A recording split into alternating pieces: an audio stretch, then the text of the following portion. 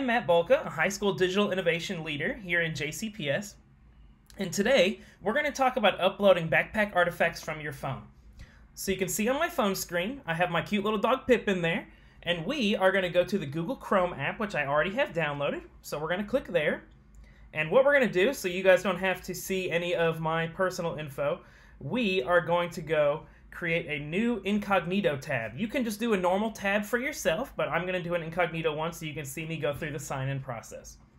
So in my search bar, I am going to type in jcps.me slash backpack, and we're going to go there now. I'm going to log in with G Suite, just like you would, and I'm going to use my student uh, tester account. So I use my at student.jefferson account to log in.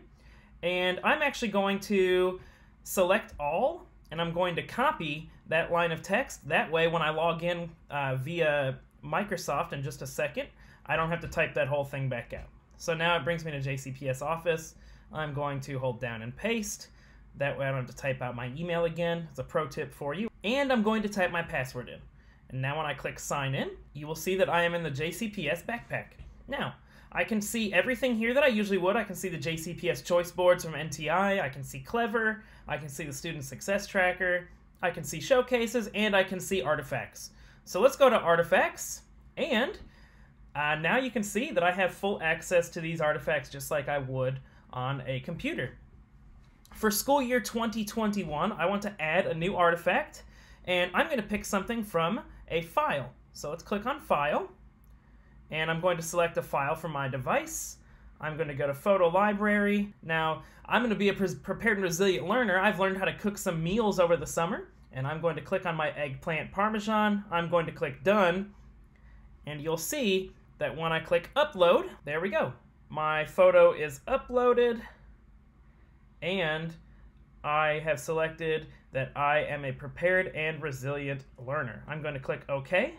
And so what you'll see down here is something that we encourage all students to fill out as they upload their artifacts. Describe the learning experiences that led to this artifact. Um, so I learned how to cook. And this is up to your school on how this is filled in. It's up to how it aligns with their with your backpack plan as well. And I could type in there uh, whatever I need to in order to explain how me learning how to cook eggplant parmesan applies to prepared and resilient learner. And that is how you upload artifacts to the JCPS backpack from your phone.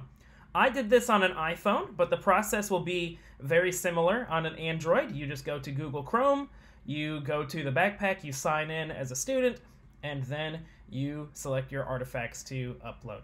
Thank you. Have a great day.